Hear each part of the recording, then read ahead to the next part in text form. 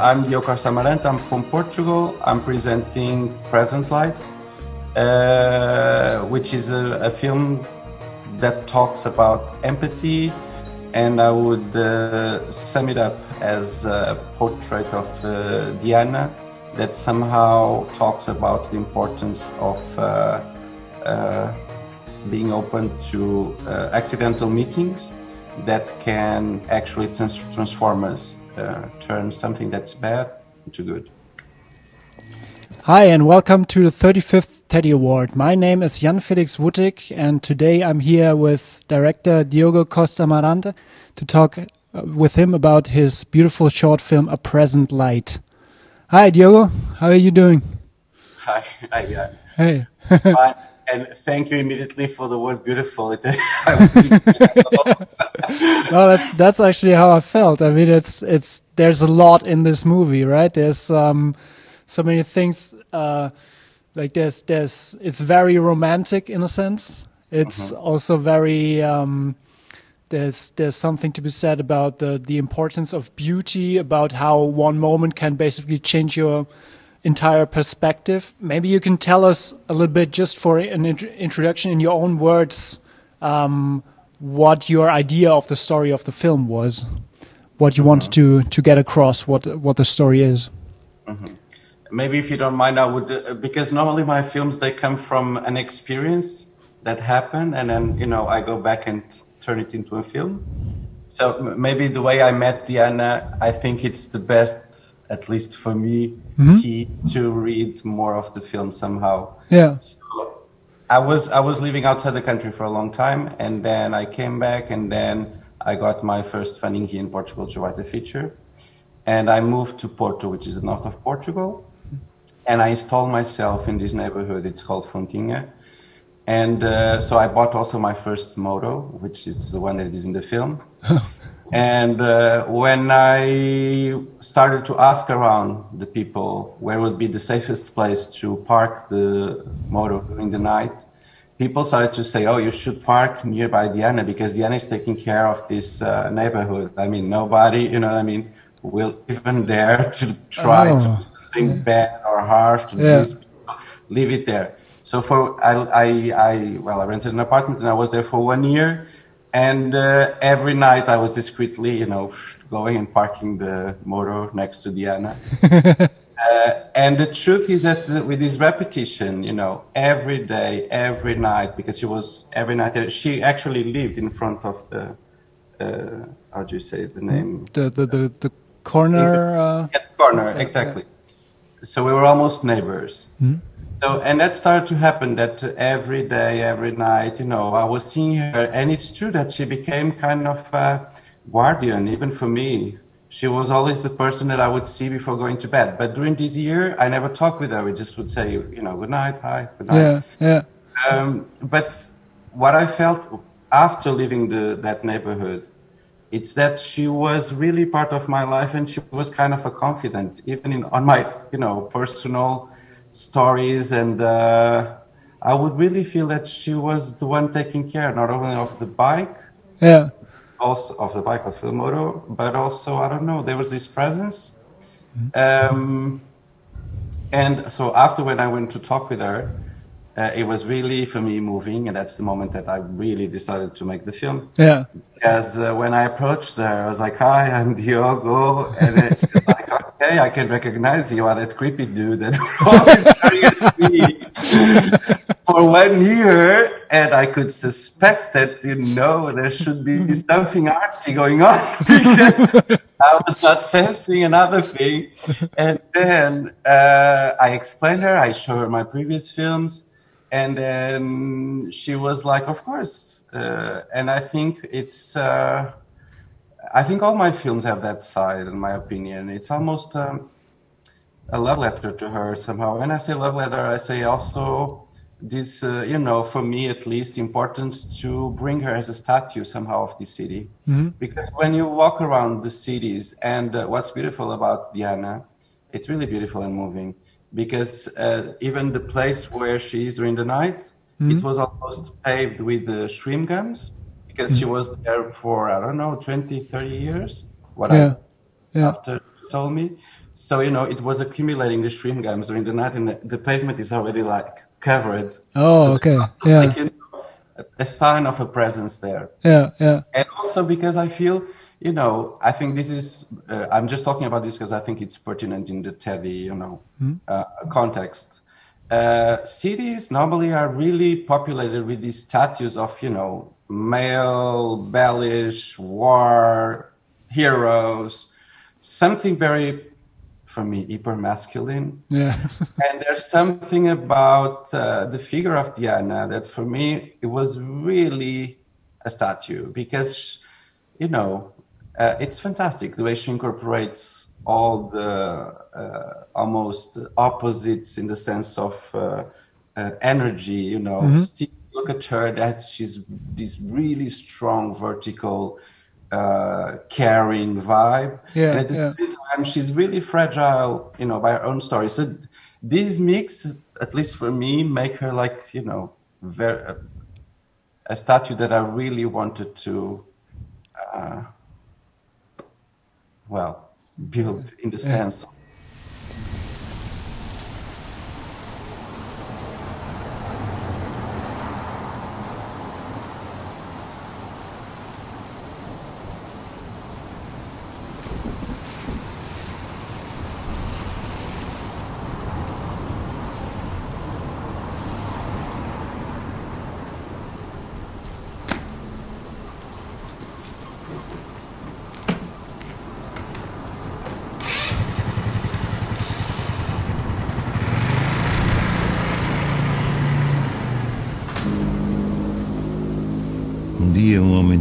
saiu de casa para entregar uma carta.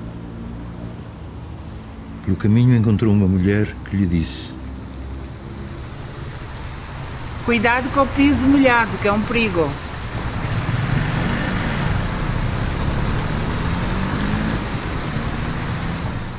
I felt that um, you you kind of you know you you brought her into the movie and the way she comes across is also in a sense that she is somehow larger than life right? She is very much as if she had been standing there since thousands of years you know like a like a like a goddess basically. And there's there's um it's almost like an with an art background you know like new objectivity a person and and her background sort of her tools the the, the the place she comes from. Um you have a lot of uh, like very beautiful uh, tableaus sort of in in the film. And one thing that impressed me the most is basically how you're able to tell a lot of story by just one image alone. I mean, I think one of the first images is Gonçalo on on his moto, and he's talking to um, an older man on the street. And just by the fact that the older man has has a coat draped over his shoulders, we already know that he's coming. He's he has come down the stairs, um, and he cares about Gonçalo in a way. But there's also a bit of let's say professional distance between them. Um, how did you choose to to tell the story in those images? Because they're very very well constructed, and they they, they tell a lot just by just by basically a fracture of a second that you look at him.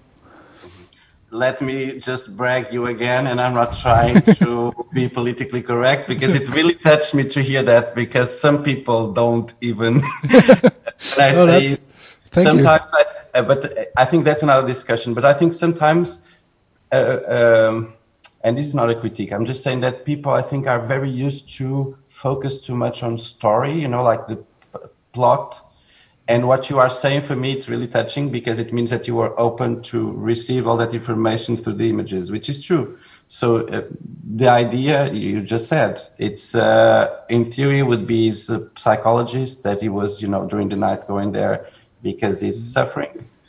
But you know, the guy, you know, basically as we all have experienced when you are heartbroken, uh, well, only time. So maybe a pill uh, can easy. Yeah. Uh, and what you said for me, it's also very important. And I'm saying this because it's really something that uh, it's ingrained inside me, which is always have space inside the shot. So that's why I have this love for maybe wide shots that relates always people with the space, even the drama with the space, right? Because the space where you move yourself, it also uh, puts you inside a context, right? It's already framing you. Mm-hmm. So a film, a person, a place, it's a frame of a person in a frame. You know, Yeah, so I yeah. think all these layers somehow that's my well personal mm-hmm. opinion talks also a lot about empathy in the sense of the, that the drama it's not an individualistic thing but it's a human thing you mm-hmm. know it opens up it resonates Yeah. and and when you take out of the context of the functional context of the place you know i think it opens up. It it puts us us all in that bar that she's singing. You know what i mean? Yeah. and and that for me at least it's again i'm not saying that i hate the what cinema is or isn't. I'm saying for me i need this impulse of uh, uh, i have to use this word of love for uh, you know to put to wanting to put the you know camera it's it's almost like when you take a, you took a photograph why you want to register that you know uh, person moment? It, it it's important for you in your own history what you can think. It's important also for the history somehow of this place. So it's it's uh, i just hope this is clear in the sense of it really comes from uh, admiration uh, point of view uh, well Yeah, and it's certainly an an inviting way of of shooting, right? There's all these white spaces um, that you have, particularly at at night. Um, the the night streets. It's almost a little bit like you know, like like Edward Hopper, like a like a painting in that in that sense. Um, and there is well, yeah. You, in in in that in that kind of scenario, you have Diana sort of like an idol of herself standing on the corner. No, but listen, uh, Jan, because uh, somebody asked me this before. Sorry to interrupt interrupt you. No, sure. And that even the the when I say the wardrobe, it's from Diana itself uh, herself. I mean, Okay. she has this. Uh, it's really magnific. I mean, she. Uh, that's what I what I adore about her in the sense of she kind of. Uh, how do you say? She apoderated of reality and what could be that's i think the theme of the film somehow of the three characters. She turns what could be you know the first vision of uh, something sad or and sadness is there you know tragedy is there. You, you know you sense you know how the world works you know how society works. But there's this uh, you know strength that comes from inside and she turned it into really this vibe of uh, Yeah. you know radiation of uh, positiveness Yeah, it's true because be- before Gonçalo basically meets her in the hospital, there's there's not much happy about his life at that moment, right? There's uh, he's on the way on his moto. He's meeting his his therapist, and and his heart has been broken. He's meant to deliver a letter, uh, which is probably only going to break him more. And then she basically picks him up with not much more than just her sheer goodwill. Mm-hmm.